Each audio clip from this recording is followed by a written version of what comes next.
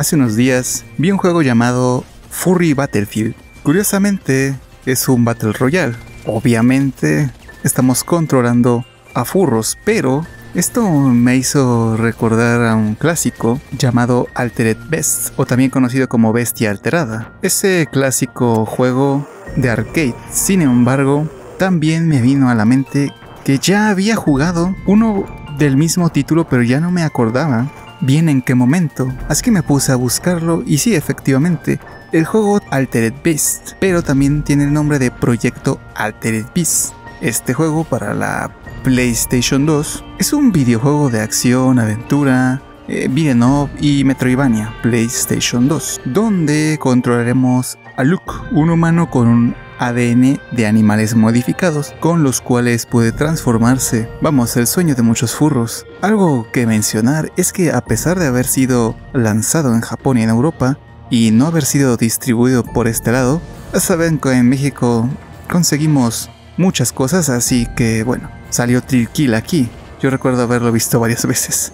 y este juego obviamente iba a llegar para acá. Si bien el juego aún implica que el personaje principal se transforme en diferentes tipos de bestias, solo está inspirado en el clásico de 1988, pero no tiene nada que ver. Ni sus personajes ni su argumento está conectados, ya que el arcade original estaba ambientado en la mitología griega y esta versión de 2005 pues obviamente en las épocas más actuales. Ahora, ¿de qué va la historia? Controlemos a Luke es abandonado en una isla perdida en medio de la nada, para resolver una situación de crisis. La población de la isla ha desaparecido y su misión es descubrir la causa. Sin embargo, nada más llegar a la isla, despierta pero con amnesia y no recuerda nada de su pasado.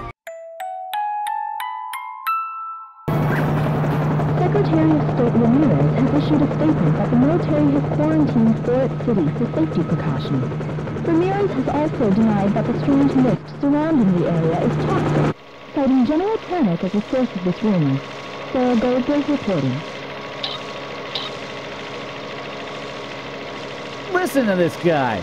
Why isn't he flying over this place then? Jeez, you said it. Still, what the hell are we doing out here? And what the hell is in that damn box? They got us flying over toxic freaking fumes. And for what? Emergency pizza delivery. Huh?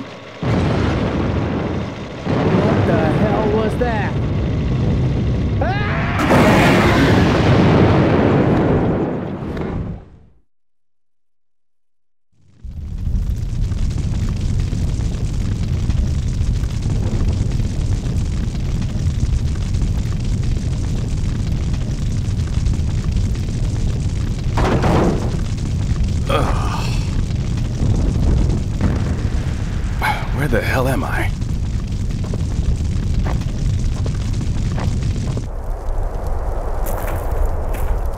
genome chip. Huh?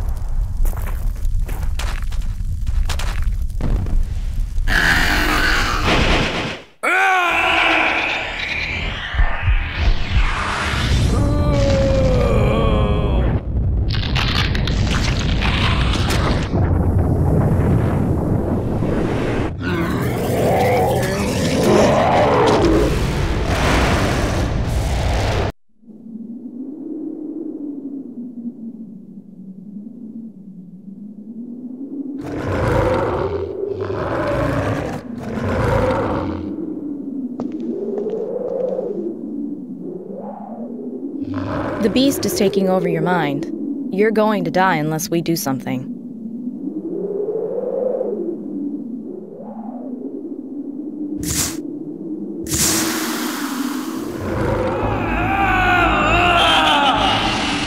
What's happening to me? Who are you? You don't remember? Don't worry, it's just a tranquilizer. Transformation puts quite a bit of stress on your cerebral cortex. That's the human part of your brain. We don't want your mind to transform as well, do we? Transform? What are you talking about? I don't suppose you would have the chips with you like you're supposed to. Though, I doubt that in your current state you even know what I'm talking about. Wait! Damn.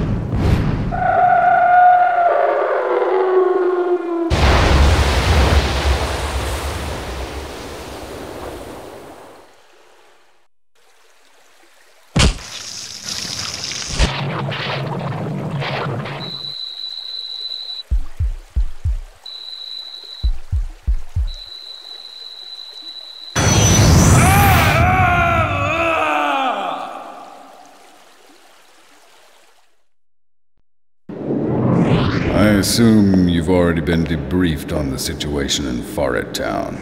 I need you to investigate the research facility and confirm the fate of Dr. Eric Jobs and his research team. Sorry, but you're on your own on this one. You're the only one who can survive in that genome mist.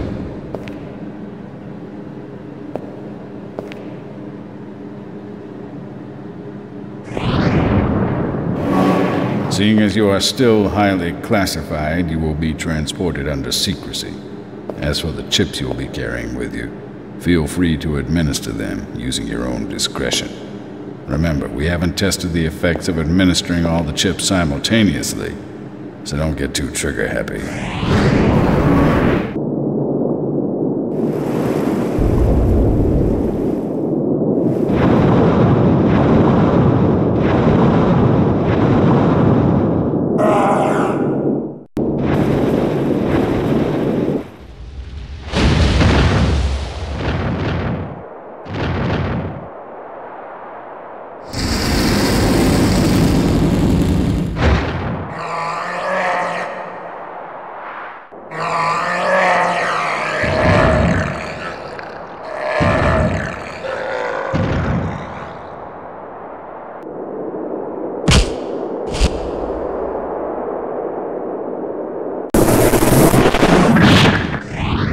Increased endurance, strength, and reactive transformation abilities. You've passed all the tests with flying colors. I finally succeeded.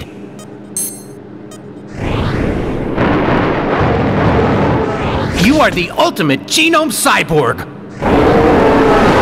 This chip contains the genetic information of a wolf. With it, you will be able to transform into something more than human.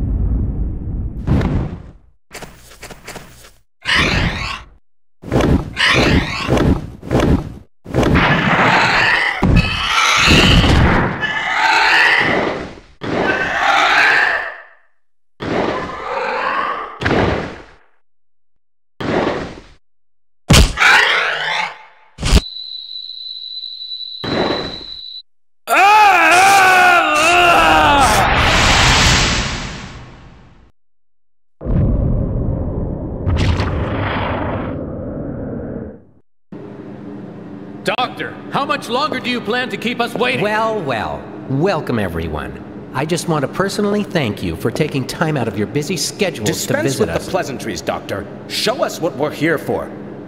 Very well then.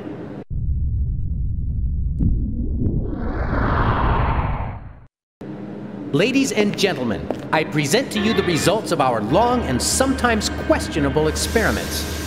Rest assured, your money has not gone to waste.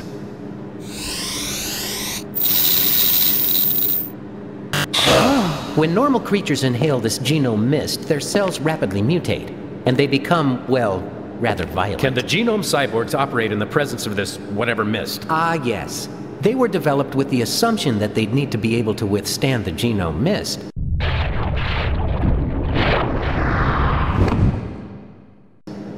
Sort of.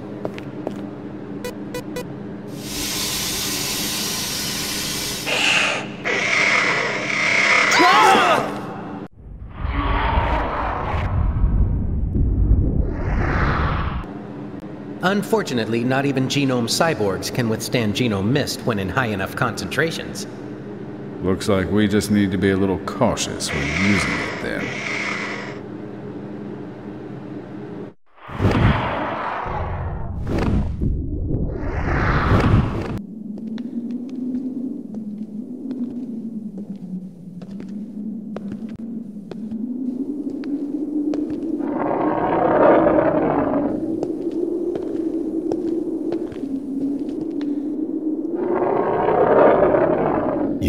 strong.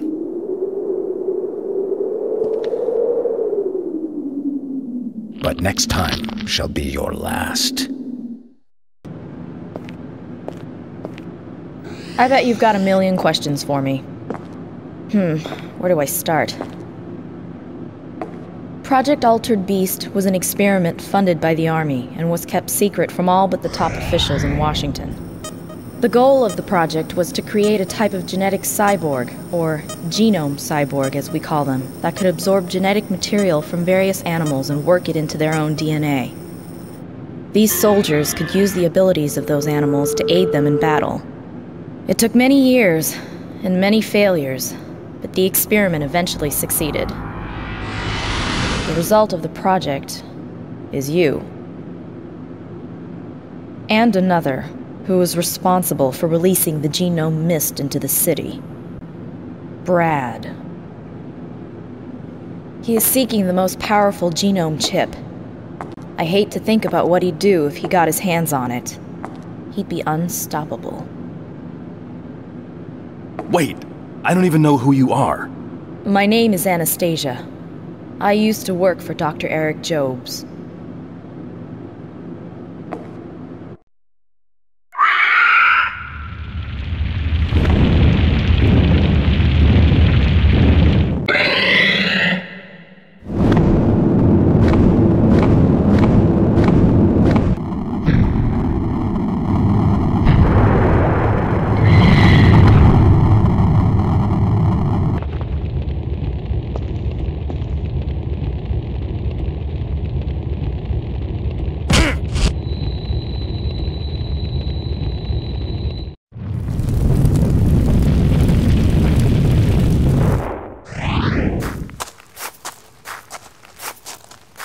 Where are you going? I am no longer needed here. It is pointless for me to stay. Don't think you'll get out of here alive with any genome chips. I don't care if you're a chimera type or some sort of new model. Nobody tells me what to do.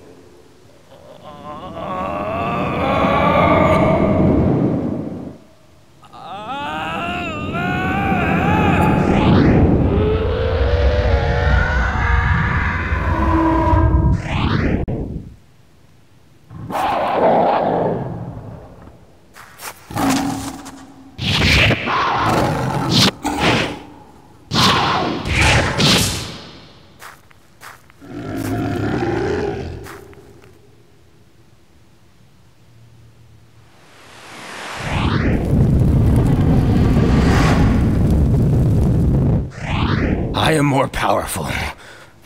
And yet, why did they choose you?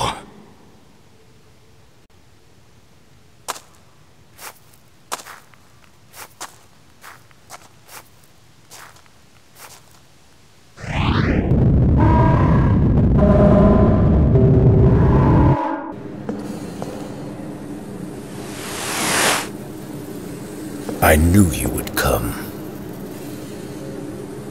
This is Dragon, the legendary beast of destruction. You shall not have it!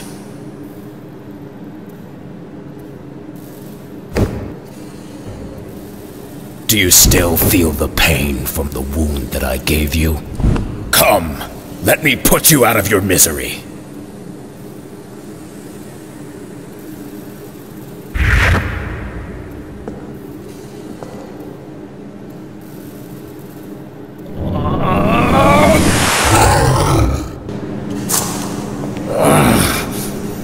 I now understand why it was you that was chosen.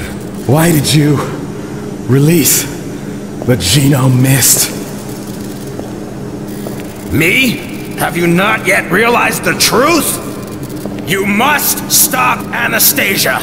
There is still time.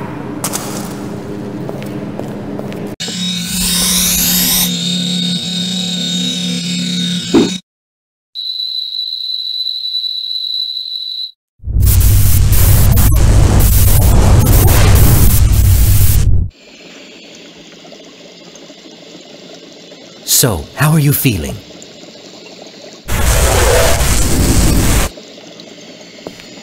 Don't try to get up just yet. Your body hasn't recovered. I don't know if you remember, but you were mortally wounded in your last mission. We recovered your body and rebuilt you as the third genome cyborg. Genome cyborg?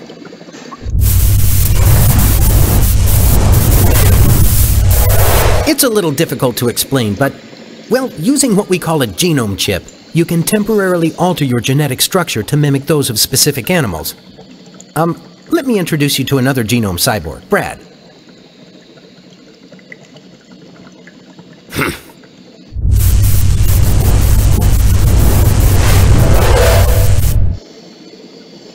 and another, Anastasia. Call me Anna. Nice to meet you.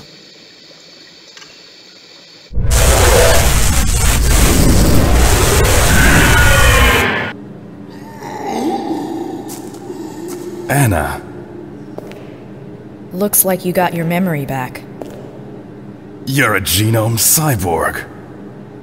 Yes, same as you. I was the second one created, right after Brad. It's all because of you. Once you were developed, Brad and I were deemed unnecessary. Brad was the first genome cyborg to successfully undergo transformation. He had amazing combat prowess and showed the limitless potential of the entire project. The experiment then moved on to phase two, the goal of which was to create a chimera type genome cyborg, one that would combine the genomes of multiple beasts. That was me. But my system was flawed. Eric's interest in me lasted only for a short while. The project quickly moved on to the final phase the creation of the ultimate genome cyborg who could freely control multiple genomes. That's when Eric became obsessed with you.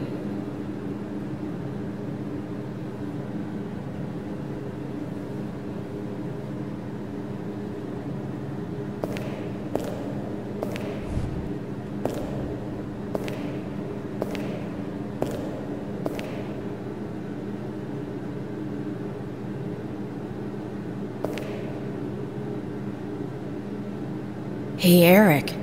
He's obtained the dragon genome, just like you always dreamed about. Dragon must analyze research. All I had to do was release the genome mist, and I knew they'd send you. I knew you'd come. Well, I didn't think you'd have lost your memory, though. I may not be able to use genome chips like you, but I can absorb your DNA. With your power, I can become the ultimate genome cyborg that Eric has been looking for. Eric, just you wait and see.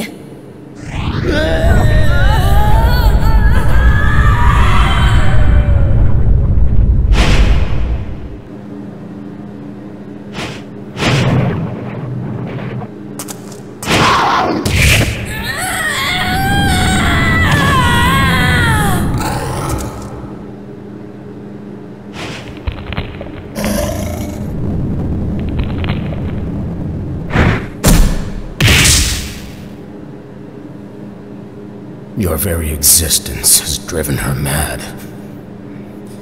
You do not know what it means to be cast aside, forgotten. I knew you and Eric would destroy her, yet I could do nothing. With all my power, I was helpless to stop this. You must kill Anastasia. It's the only way. Brad!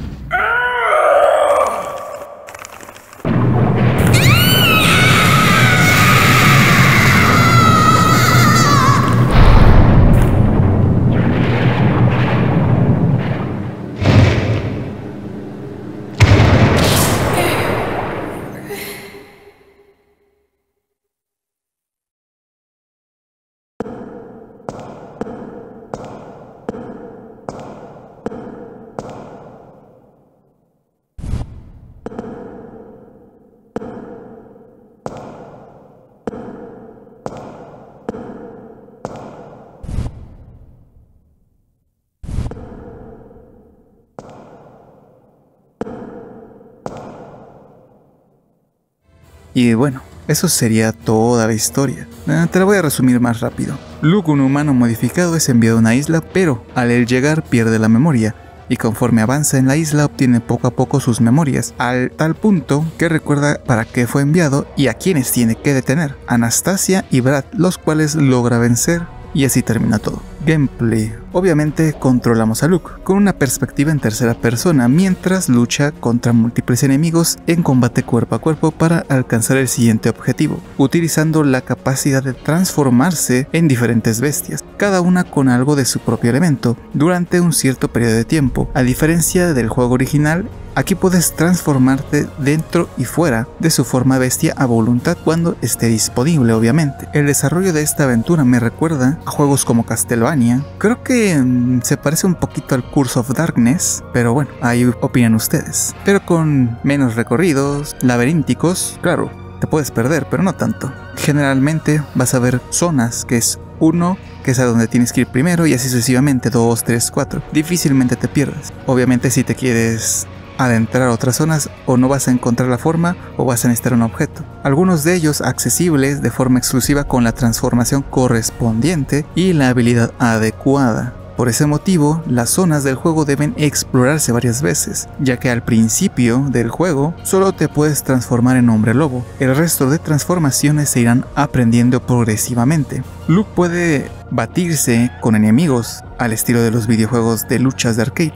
Puede pelear en su forma humana, pero la verdad no es que no se pueda terminar el juego con él, pero es muy difícil. La verdad no puedes tumbar lo suficiente o rápidamente a los enemigos. No es imposible, pero sí no es lo recomendable. Sin embargo, en su forma humana lo que sí puede hacer es absorber la energía vital de los enemigos para curarse o lo más importante y lo que generalmente queremos, recargar el indicador de espíritu, que es esa barrita verde que tenemos abajo, que es la clave para transformarse en bestia continuamente. Porque si no disponemos de espíritu, no nos negará la transformación, pero perderemos vida hasta el punto de obviamente desfallecer ahí. Ahora, vamos a las bestias, el principal atractivo y mecánica del juego. Obviamente vamos a hablar primero de el hombre lobo. Este es ideal para los combates cuerpo a cuerpo. Obviamente es la primera transformación que tenemos. Posee grandes garras que despedazan fácilmente a los enemigos. Sus piernas le permiten correr rápido y dar saltos muy alto. De hecho, es de los más útiles del juego. No te niego, llega un punto en el que ciertos enemigos no vas a poder contra ellos, pero sí, la verdad a mí me fue muy útil durante casi todo el juego. Luego tenemos al que en el juego llaman Tritón, o más bien para mí parece profundo, para los conocedores de HP Lovecraft. Una bestia de agua es la única transformación que permite bucear. Puede disparar burbujas de aire comprimido a los enemigos bajo el agua. Es la más simple, no lo voy a negar, pero a la vez es necesaria y aunque no lo creas le vas agarrando la manera, ya que el juego tiene muchas zonas de agua. Tampoco una exageración, pero sí la suficiente. Así que tienes que aprender a jugar con él. Luego tenemos al Yeti o, o como tiene la traducción Wendigo, no sé por qué. Una especie de gorila gigante de las nieves, su aliento de hielo puede congelar a los enemigos casi instantáneamente, es extremadamente lento pero puede levantar objetos enormes, la verdad sí es muy útil en combate, y de hecho contra otros jefes, y lo de la fuerza no es broma, en serio, literal te los puede hacer a un lado como si nada. Claro, tiene lo del movimiento muy lento y ciertos ataques te pueden alcanzar, pero la verdad es muy útil. Luego vamos a obtener a Garuda, una bestia de aire capaz de lanzar plumas afiladas contra los enemigos y así como crear pequeños tornados. Es ideal para combates aéreos, aunque también en combates de tierra. Este, la verdad, hasta a mí me agradó mucho, ya que aunque su mecánica es muy parecido al tritón, obviamente ya con él podemos estar en el aire como tal, pero también lo podemos usar en la tierra, cosa que ayuda mucho y su tornado créeme que es muy devastador sí lo recomiendo usar y de hecho varios lugares a los que no vas a poder acceder lo vas a lograr con este tipo. Luego, el Minotauro. Es grande y poderoso, tiene una piel dura como de acero, puede lanzar bolas de fuego y embestir contra grupos de enemigos, y de hecho tiene una fuerte defensa en el que literalmente se vuelve acero. Es útil, y si lo sabes utilizar, puedes bloquear muchos ataques y quemar a los enemigos fácilmente. Por último, tenemos a Dragón, una bestia alada extremadamente poderosa, puede generar esferas eléctricas devastadoras y generar un destello eléctrico. Mm, hay quienes dicen que es el más sope del juego, eh, bueno, hasta este punto. La verdad sí me agradó, es poderoso, no lo voy a negar, pero algo que sí voy a mencionar. Existen otros tres personajes, un tigre, un oso y una especie de cosa que no es humano, pero parece humano. Pero los tienes que desbloquear. No es difícil, hasta cierto punto, pero ahí está.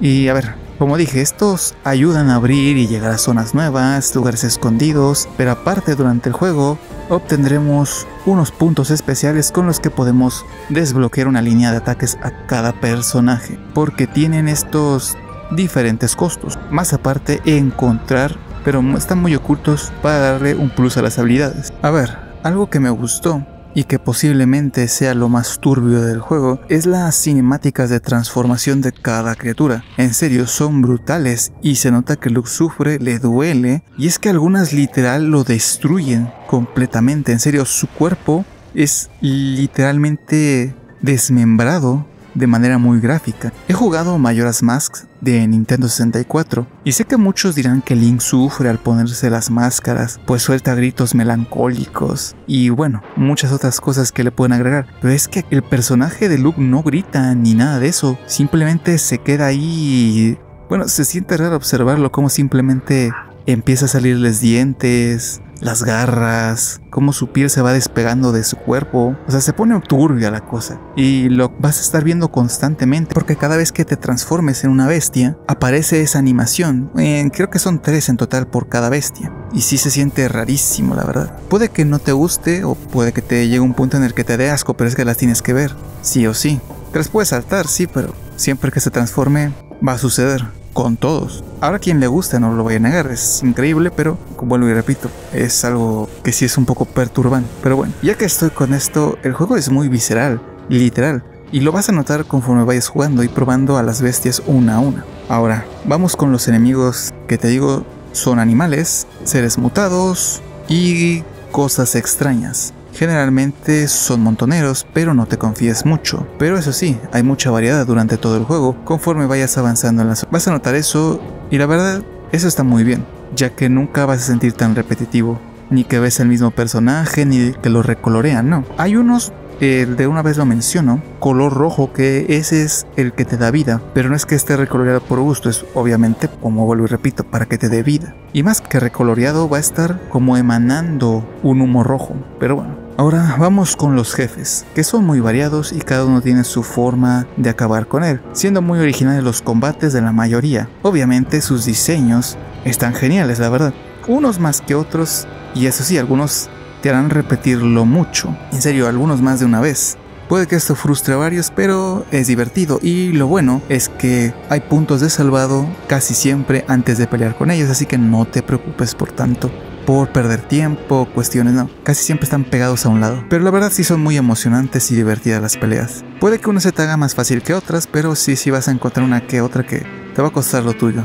Pero la verdad tenía que tener un buen reto. Algo que también me encantó fue la isla, la cual nos da varios entornos pues encantadores y diversos, ya que tendremos desde pantanos, fábricas, centros comerciales, ríos, etc. Los cuales dan un toque de sentirse que sí estamos en un lugar donde había gente. Y la verdad sí está muy amplio y como vuelvo y repito, igual que un Metroidvania, sí o sí tienes que buscar igual. Va a haber muchas cosas que al principio van a estar o fuera del alcance o ocultas, pero que obviamente al tener ya al personaje, bueno en este caso a la bestia, vamos sí o sí a poder llegar a esos lugares. Y al contrario, créeme que recompensa mucho. También tenemos diferentes modos de juego que lo vamos a ver al iniciar el juego. El primero obviamente es el modo historia, en el que controlaremos a Luke en su aventura por descubrir el misterio, investigando y luchando transformándose en diferentes bestias. El segundo sería datos de la bestia. En este se puede ver información detallada y movimientos de las bestias que el jugador haya desbloqueado en el modo historia. El tercero sería datos del enemigo.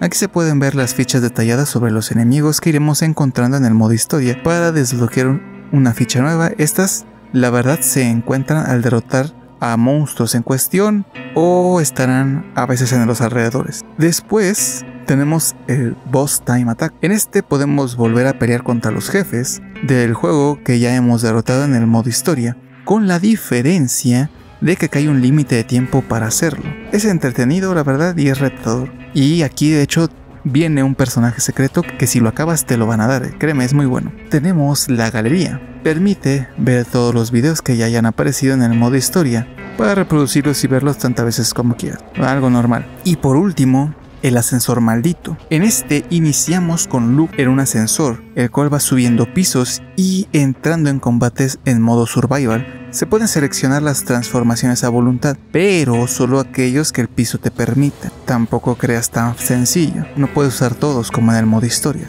En el piso más alto se encuentra el jefe final exclusivo con 5 transformaciones. No es muy poderoso, pero cada uno requiere una estrategia concreta.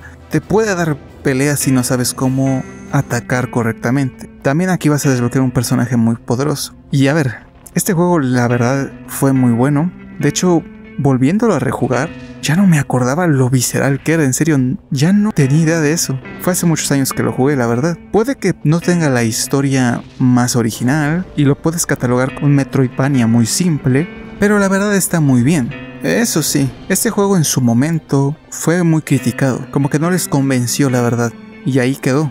A días de hoy creo que solo una versión del primero de arcade se volvió a sacar, pero ya no más. Aunque creo que este está para la PlayStation 4 y la PlayStation 5, si no mal recuerdo, por si lo quieres probar. Pero bueno, ahí tú decides qué forma utilizar. Ya eso depende de ti. Yo la verdad es un juego que me gustó mucho en su momento y que volviéndolo a rejugar no he perdido el gusto hacia este juego.